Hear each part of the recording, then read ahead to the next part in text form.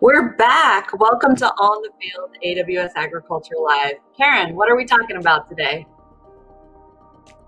A cattle ear tag and a climate challenge. How are those two things connected? Ah, this is a trick question. They're connected in space. Absolutely. So we're going from low Earth orbit all the way down under to have our guests from Ceres Tag share uh, what they're working on all the way from Australia. So stick around for our Cows in Space episode of All in the Field. AWS Agriculture Live.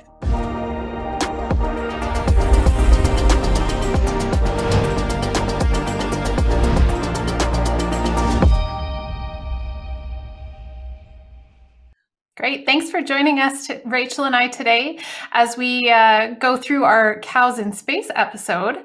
I am Karen Hildebrand. I am the worldwide tech leader for the agriculture industry segment, meaning I get to work with all of our very cool agricultural customers and the innovations that they're building. And I'm a fourth generation farmer myself, a doctorate in AI ML, and really excited to see the solutions and the customers that we get to talk to every episode. And I'm Rachel Bradshaw. I'm a go to market specialist for IoT, and I lead the agriculture vertical for our IoT services. I have a passion for food, a specialization in connectivity and IoT enablement, a title that obviously makes Karen jealous, and puns that do not.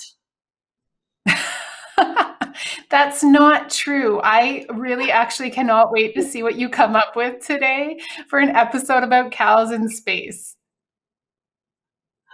Well, you know, Karen, I utterly adore talking about cows in space. Wow, that was that was pretty bad. that was bad. Would would you say I butchered it? I'll tell you what, oh. I won't milk this conversation any longer. Let's just put a stake in it until I come up with something more moving for you.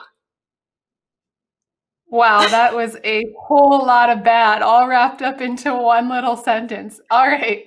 So I think I'm that means we should just move straight into the field notes.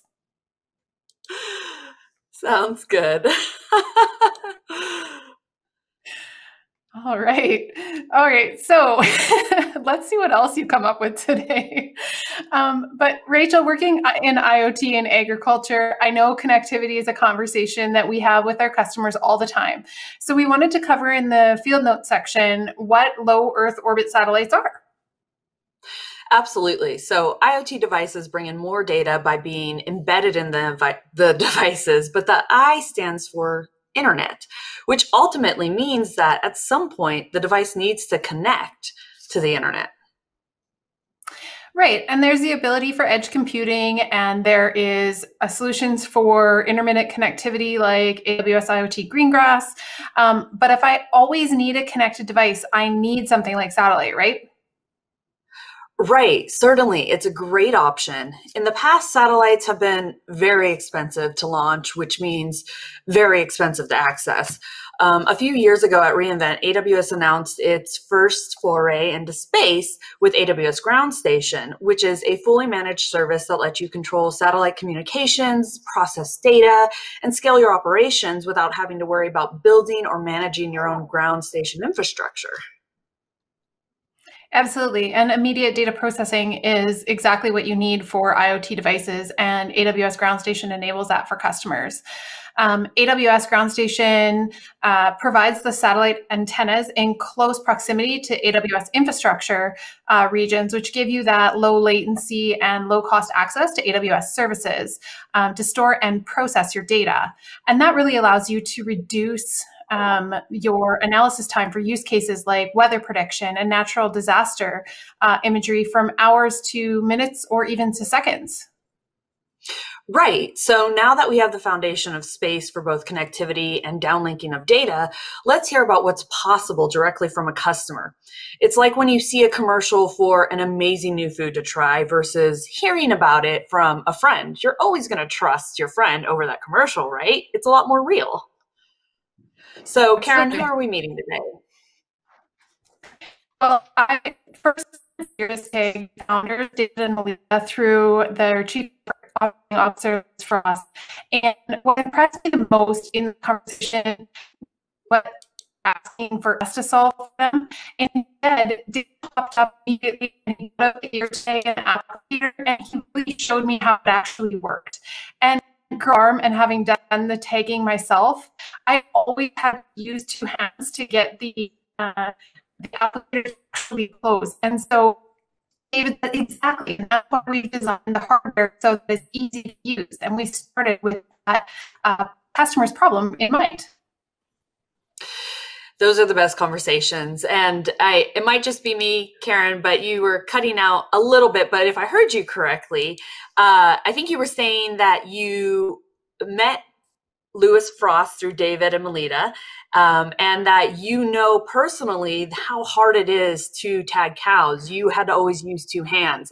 I'm, I'm pretty sure that's what you're saying. Um, and so you can really understand the problem and i know i really understand the problem from talking to customers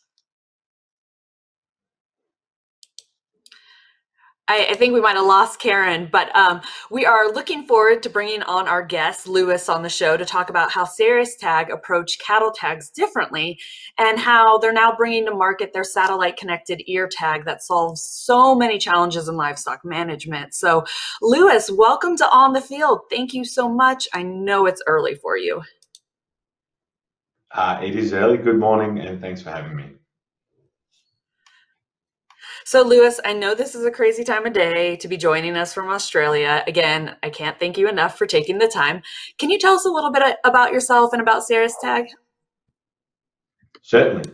Um, so, look, for about the last 15 years, I've been working to bring a range of different technologies to the livestock industries around the world. So, this includes things like genomics, molecular diagnostics, and more recently, smart tags, wearables, and IoT. Mainly, this has been in domesticated livestock, so beef and dairy cattle is sort of my, my speciality, but also some work in companion animals, including uh, domestic cats and dogs and, and pets. Now at Ceres Tag, I've been here for a little over a year and a half. Uh, the team has been able to produce the world's first direct-to-satellite smart ear tag and, more importantly, associated data platform for livestock. And we're really working uh, through this, this system to bring remote animal monitoring to the entire supply chain. Very cool. So, what is the big problem you were able to solve with satellite connectivity? What does it mean for those of us back here on Earth wanting to manage a herd? So, the power of satellite has really come to us thanks to our communication partners at Globalstar. And with their help, we've been making this kind of smart tag solution ubiquitous and accessible to all. Uh, they've provided us with what's called a constellation of 36 low Earth orbit satellites. And what that means for the end user is full time, 24 7, 365 worldwide coverage and, and reception. So, with traditional smart tag systems, as you'll know, you need to create a local uh, network, usually a wireless network using a, a range of different technologies and protocols. But that requires someone visiting your farm, uh, surveying the land, and installing uh, very expensive antennas, relay stations, and, and base stations, making it not a very simple process to adopt the technology at all. With our system, it's as simple as taking a tag. Here's one of the small tags that we use on livestock. Taking our applicator that Karen was talking about, a very ergonomic device, and simply popping the tag in the applicator. And that flashing red light on the front through the light pipe tells us this tag is now uh, been activated and is seeking a connection to the satellite. Then it's as simple as applying the tag to the animal and the data starts to flow within uh, a matter of hours. That's, that's what satellite really means for the end user. All right, so we we just talked obviously about the tag itself, and sorry that my uh, voice dropped out there. Obviously, uh, the joys of an agriculture episode, um, but we did just talk a little bit about how it was developed. And Ceres Tag has been phenomenally effective at developing strategic relationships. Uh, um, and when we talk about CSIRO, which is the Commonwealth Scientific and Industrial Research Org uh, it's been very innovative in agriculture. We see their fingerprints on a lot of different uh, capabilities from crop phenophasing, obviously, all the way to hardware development. Can you tell us a little bit about that partnership? Yeah, so I mean, just as we sought out AWS to engage and, and really come together to deliver something fantastic that I think we're going to hear a little bit more about later on in the show, David and Melita Smith, the, the founders of Tag, sought out CSIRO after they came across a, small piece of work they'd done in the past relating to remote animal monitoring. And we really came together with, with CSIRO and their digital sciences arm, Data 61, to sort of align ourselves around some big, hairy, audacious goals about what we thought could possibly be achieved in remote animal monitoring and, and making it really accessible uh, for, for uh, uh, worldwide users. And I think we've been really lucky, and that's a common thread in the way we approach partnering. We're very open. We, we have an open platform, both sort of literally and figuratively in the way that we engage. And we tend to find partners who li- align themselves in a similar way to the problems and, and nuts that we're trying to crack. Within the industry, so sort of beyond research and development, thinking a little more commercially or, or out there engaging with, with stakeholders and, and customers, we know that we have to connect and we have to share some of our value up and down the supply chain from where our, our tags are deployed to ensure that everyone in that supply network uh, benefits. And with CSIRO in particular, we've been really lucky that they've seen it exactly the same way. So it's been a great partnership. That's really interesting. I mean, and just seeing the tags and how easy and quick it is to get the setup, I feel like I could even do it, and I've never tagged cattle before in my life. Uh, Lewis, I'd like to bring on one of your colleagues, Heidi Parrott, who's the data platform manager. Let's go ahead and bring her in. Hey, Heidi. Oh, I think you're muted. Let's try again.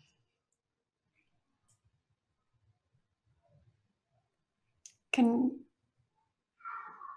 Oh nope, no. we can't hear you yet.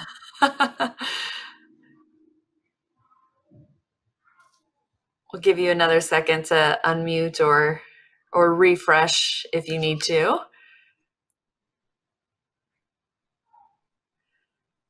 So we'll just wait for Heidi to come back. It will just be one second, I'm sure. Oh, are you there, Heidi? Hear me now? Yes, we can. Welcome to the show. Thanks very much. Glad to be here. Well, before I hammer you with questions, why don't you just introduce yourself? Let us know a little bit of your background and how you're tied to agriculture. Sure. So uh, I have a technical background. I started off as a research software engineer, uh, and then I moved into the security space where for several years I managed and ran a secure air gapped facility for criminology and social analytics. Uh, before uh, going to work as the Data Innovation Program Manager for the Queensland Cyber Infrastructure Foundation here in Australia. But um, similarly to um, Karen, I was born and raised on a cattle property in central Queensland. And um, I was thrown on a horse before I could barely walk and have since spent many long hours in my childhood leading or tailing out cattle and working in hot, dusty cattle yards, drafting, vaccinating, or trucking. So when I talked to David and Melita about Ceres Tag, I knew they were onto a good thing. Oh, that's great. Now, I have a question that I'm going to pose to both you and Lewis, and that is you have worked with PwC to quantify the potential value of the tag in terms of the problem it solves. Can you tell us two to three use cases that have really excited you? Let's start with Lewis, and then maybe we'll we'll turn it over to Heidi. So two to three, that that's that's really challenging. There's there's so many to choose from. I mean, I think as you just heard, Heidi's on-farm credentials definitely outshine mine. So I might focus on some sort of whole of life supply chain uh, pieces and leave the, the on-farm application to Heidi in just a minute. Um, the, the tag is not a removable device, just to set the scene a little bit. When we apply a device to an animal, it stays with that animal for its life and, and travels with it on its journey through that network. So it's amazing to see the tag become this golden thread of data that connects all these disparate data points and data sets as an animal moves from one owner to, to another across its entire life. And that means we can dig into some really interesting use cases. currently, we're working with a partner of ours in, in Western Australia who's looking at uh, carbon management. So this is where they want to use the tags to specifically monitor animal behavior like grazing, uh, where they rest, rumination, how they move around, and actually automate the process for applying for carbon credit units, which means the producer could get a return in real dollar terms uh, on the investment in technology, which is, is really exciting. And we can also combine this with looking at uh, greenhouse gas emission monitoring or, or, reducing greenhouse gas emissions. And we're doing this through a new technology package we've accessed thanks to our partners at CSIRO called eGrazer, which allows us to remotely monitor individual uh, feed intake for animals in, in pasture outside of a feedlot environment. So we can start to understand which animals eat more or, or less and which animals are more or less uh, efficient than others. So over time, we can actually drive that efficiency into those groups of animals and reduce the greenhouse gas emissions for the entire supply chain. Uh, you said two to three. I'll, I'll do just one more. And I think that would have to be animal welfare. So through monitoring animal health and, and being able to observe when an animal is in distress or under duress, we start to build up a lifetime passport of animal welfare for, for that individual animal. And now we can look holistically at how an animal has been treated throughout its life. And some of our partners are working on new and exciting ways to actually communicate that uh, to the consumer at, at, the end of that supply chain. So that, that's enough from me. I'm going to throw to Heidi for the, the on-farm applications. Thanks, Lewis. So, having grown up on a cattle property, um, I see a big value in the farmer knowing where their cattle are throughout the day. Uh, there are some properties in Australia, to give you context, um, and remote, so large and remote that they have to employ a pilot full time. So, the fact that Ceres Tag provides geolocation of individual animals throughout the day is a huge thing. Um, you can know where the cattle are before you go and do that muster that might take a week or more. Um, you can also you find a pilot. When you say a pilot, Heidi, I just want to pause you. You mean a helicopter pilot, right? A helicopter, or so fixed wing, or or not. So it could it could yeah. actually be um, a helicopter or uh, a, a small plane that's used to go and locate the animals. Thanks. Thanks. Um, yeah, so uh, I guess um, being able to know where your animals are and then um, what health condition they're in without actually having to go and eyeball them can be quite valuable um, in that instance. Uh, you can also potentially uh, find the cattle who uh, hide in the scrub. Um, another part of the solution that really excites me though is the data. Uh, data is quite close to my heart. So while the information sent is small, it is quite powerful. Uh, in terms of mustering, you can find out information about individuals, like this uh, video we have here. There's also the ability with the CeresTag to get sent alerts or event-driven packets um, for things like animal theft or breakout. For example, if your prize bull start, suddenly starts moving at 60 kilometers an hour, you might want to look into it or enter him into the Olympics.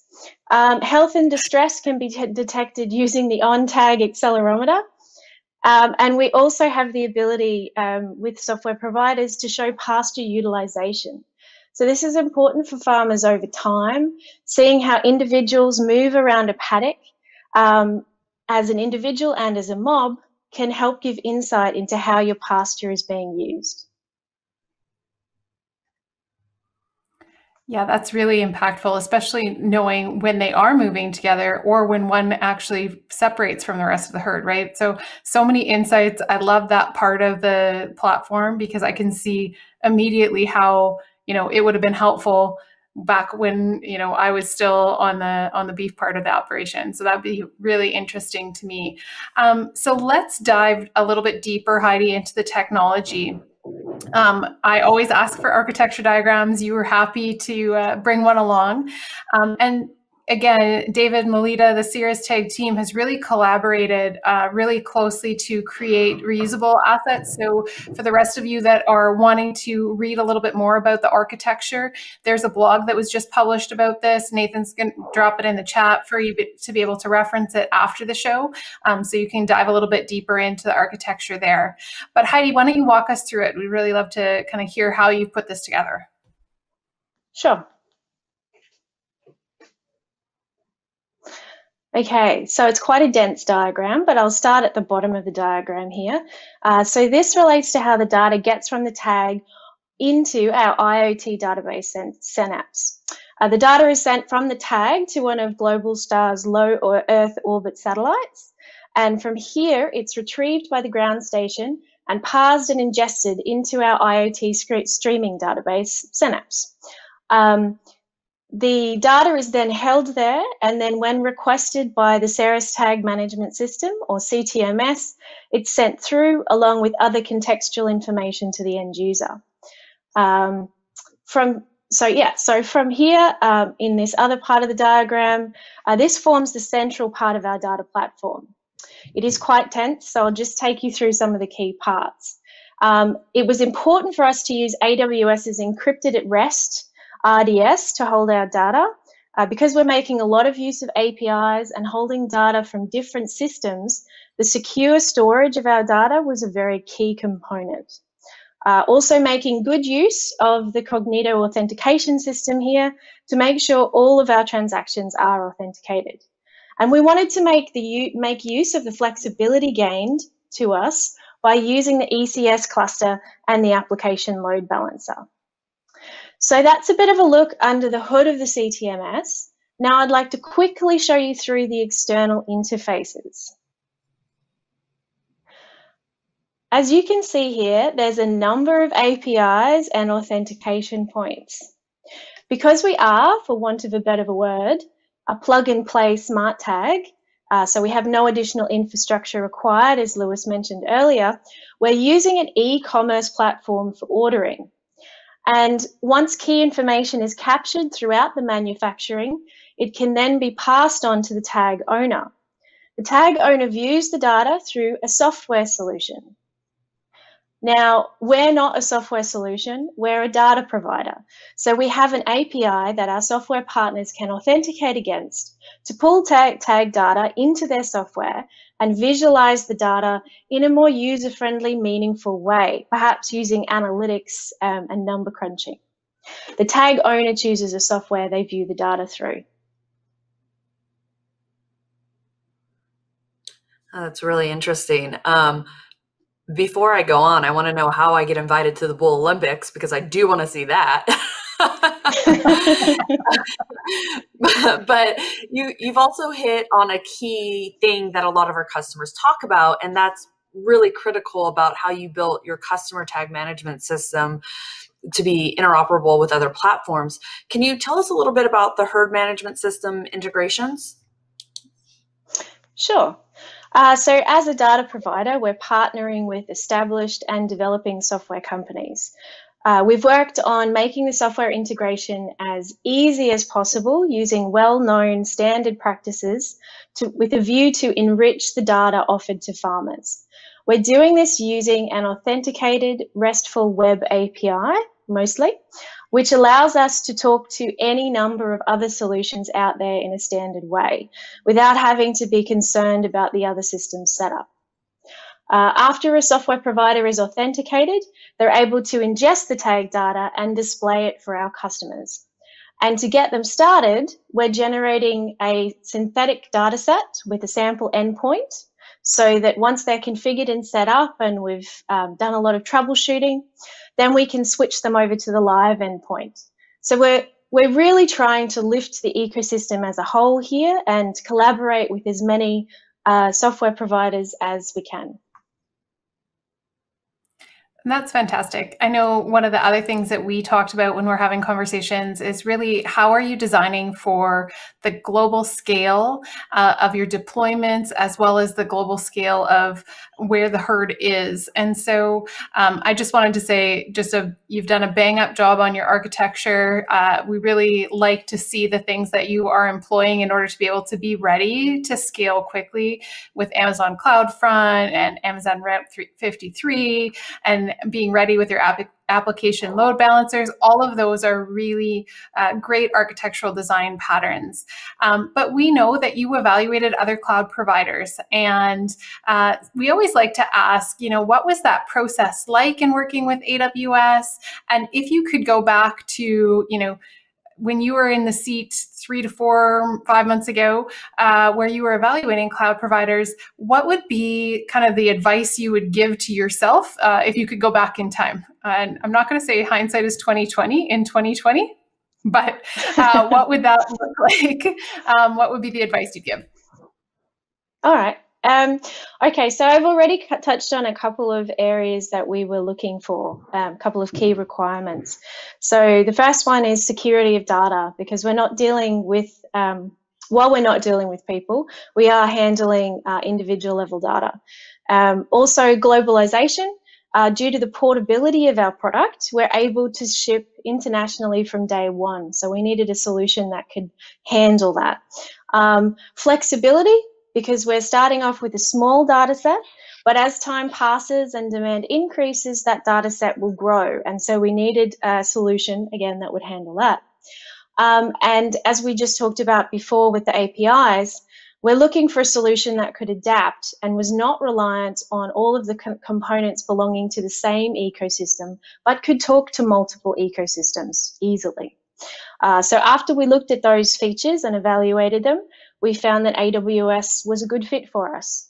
Um, so, in terms of advice for other people, I'd say think long term.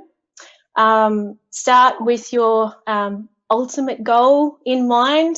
Uh, build from the core of your product and then work your way out. Don't just think about the next step, think about step 10.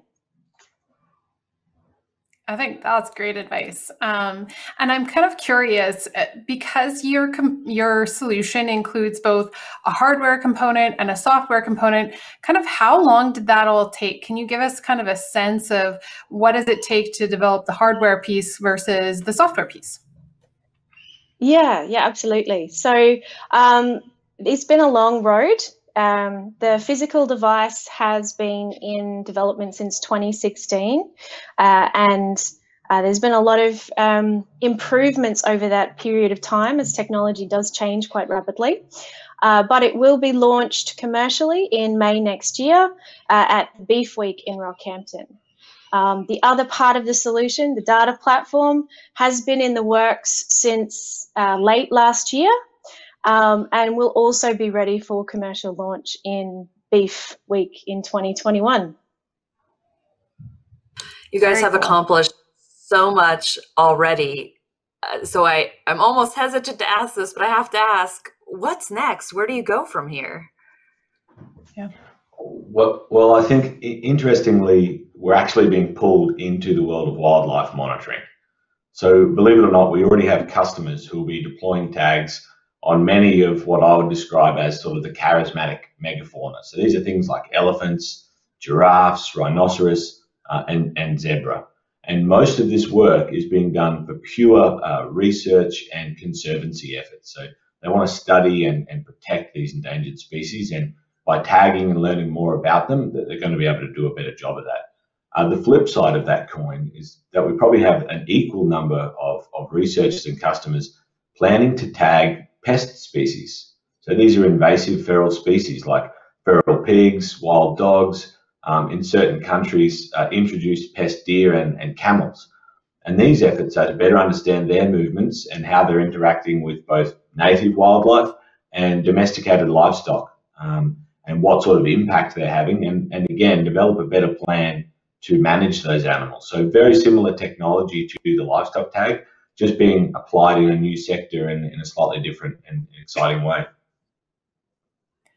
Oh, that's so cool, really cool and super interesting. Yeah, yeah, Sorry. I agree, Karen.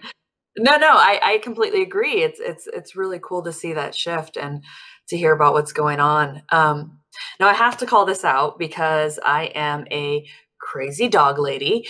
Uh, Karen knows this about me. Recently, there was a press release that came out about Ceres Tag in conjunction with CSIRO's Data 61 about companion color for pets. Um, so this is huge for me. As I said, I'm a crazy dog lady. Can you tell us a little bit more about this upcoming technology?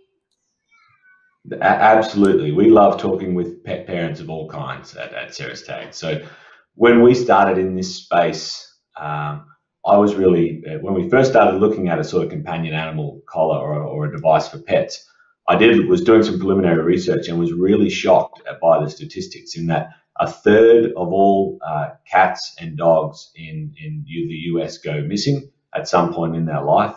And of those missing animals, more than 80% are never found or never returned home. So I just immediately felt that, that animal loss, animal wandering, animal theft was happening at, at far too high a rate. So we really wanted to start with the, the original insides of our of our livestock tag, but we needed to make it more suitable to companion animals. So we're working to make it smaller, to make it lighter, again with CSIRO and, and Data 61, and we're working to change the way that, that it operates. So we'll be introducing a new communication package. So there'll actually be two modes of communication for, for the device, um, allowing it to monitor your, your pet when it's in the home but also detecting when it leaves your house or your yard and is wandering or become lost.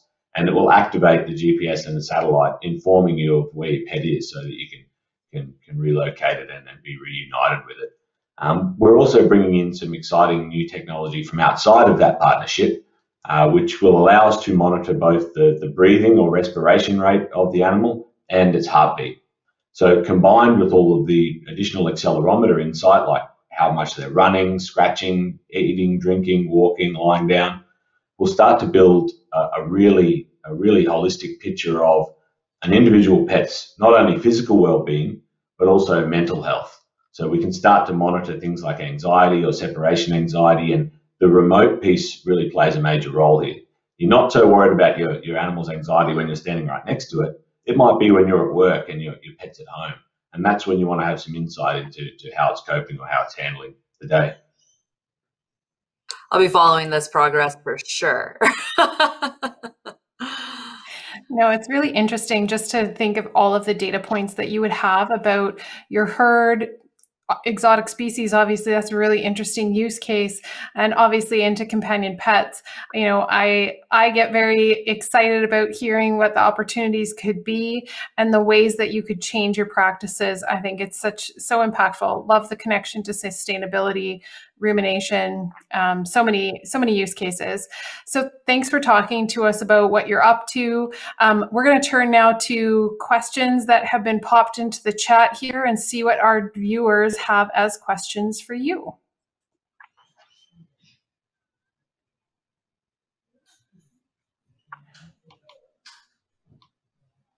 All right, just a second. Sorry, I'm not fast enough to read at the same time.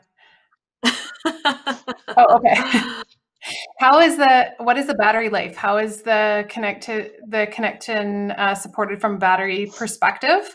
Um, and there's a question: Is that a solar recharge re capability? Yeah, I'll, I'll grab that one. Um, so yes, there is a solar panel on the back of the tag. Um, if uh, Lewis, would you be able to hold up the tag again for us? Um, and the solar panel um, allows the battery to be uh, recharged throughout the day, um, all the time. So the solar panel actually means that the battery life can be 10 years or more of the tag. Okay, we have a question. When you said, Lewis, that it lasts for the life of the animal, what can it be reused after the slaughterhouse? Sorry. Uh, no, so no, it cannot, and and a lot of that uh, relates to some of the mandatory and accredited identification programs that we're working to be a part of. So there's an international accreditation body for identification devices, ICAR, and in many countries around the world there are also national schemes, and part of those programs dictate that the animal has to be identified uniquely, so one unique number around the whole world, no one else can use it, and the device cannot be removable and must be tamper evident. So, from a corporate and social sort of responsibility standpoint, we have made sure the device is recyclable so that it is collected at the slaughterhouse and actually broken down into its components and repurposed through a standard uh, uh, sort of e-waste recycling route. But the tag itself cannot be taken off and put on a new animal. So a lot of it's to do with the mandatory ID programs, also a bit of a biosecurity risk moving tags around between animals. So we just want to avoid any of that as well. That actually ties nicely into another question here. Um, okay, so I know you had brought pictures along of some of the exotic animals, and I'd love to kind of show them. And I'm going to tie it to Rachel's uh, desire to see the Bull Olympics. Um, That's right. What? How do you know how fast and one of these exotic animals is supposed to be able to accelerate? Like, how do you?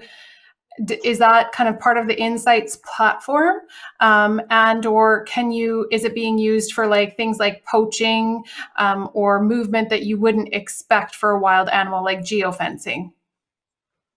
Yeah, so I'll, I'll jump on this one. So a lot of it has got to do with benchmarking. So you can benchmark an animal against itself, its own behavior over a 24 hour period or like a rolling two week average.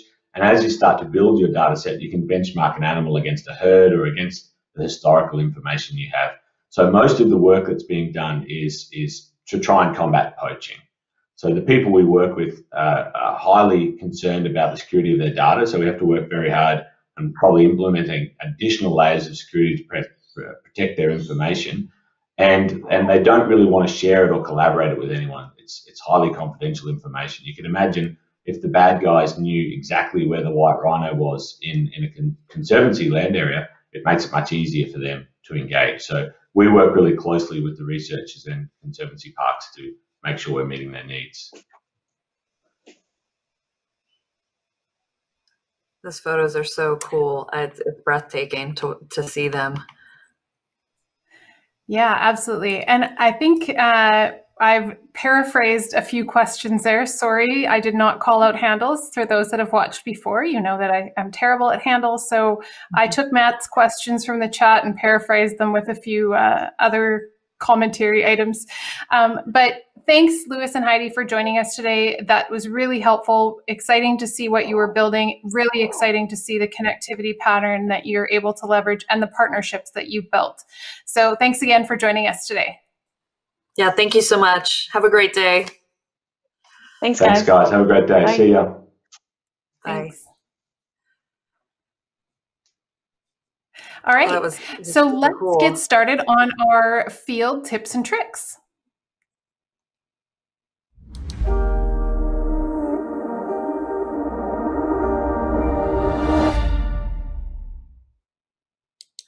So, your tip for today is all about re:Invent. Our annual customer conference at AWS is free this year. So, there's no excuses not to go.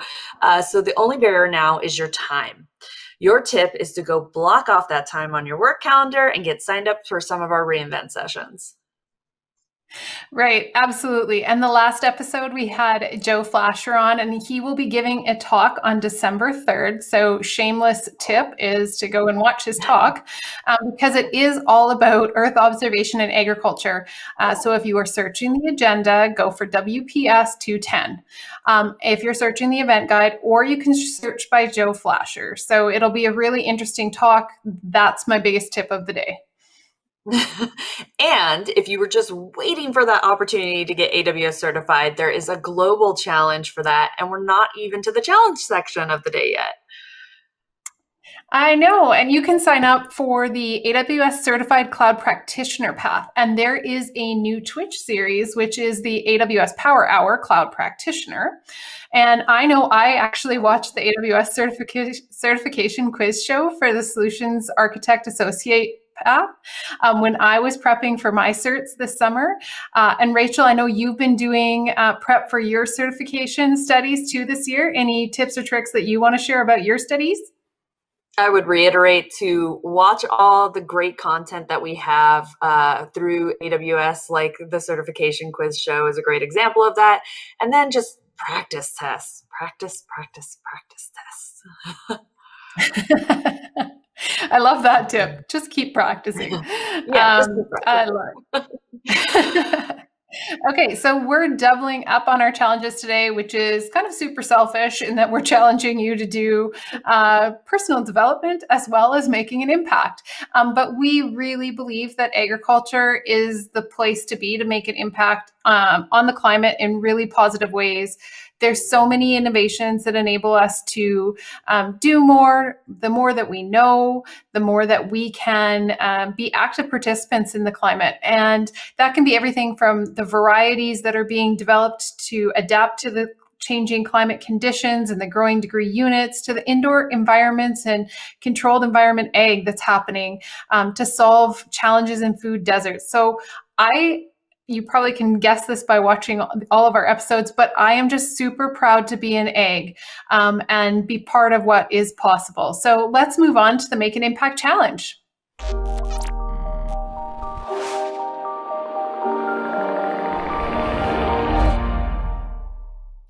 Agriculture has a significant impact to sustainability. We talk about this all the time, and we have increasingly had customers ask about the climate pledge and how they can be a part of making an impact. Since we know so many companies in agriculture are approaching the challenges of climate change and sustainability from water management to methane capture to precision agriculture to fewer passes across the field to reduce soil compaction uh, to indoor agriculture environments. The list goes on. We want to make sure that you're aware of programs at Amazon that are related to the climate pledge. Absolutely. Because in this new virtual world, I don't know about you, but I feel like there's so much content being created. Sometimes it's hard to find the content that connects to what you want to be able to do. Uh, so we really wanted to bring forward some of the programs um, and specifically call out how to make an impact on climate and the alignment with Amazon's commitment and funding.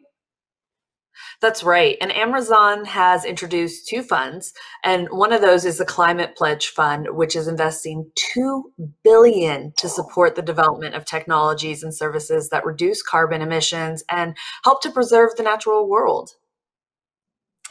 And the Right Now Climate Fund is investing 100 million in reforestation projects and climate mitigation solutions, of which agriculture is a great fit.